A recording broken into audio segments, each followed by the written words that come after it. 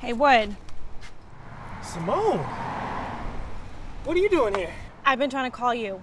Yeah, I know. Sorry about that. Um, I'm married now, and so I'm sure you know, like, boundaries are really important. I'm sure you mm-hmm. understand. Right. So there's something that we need to discuss, though, like right now. Oh, okay. Oh, you.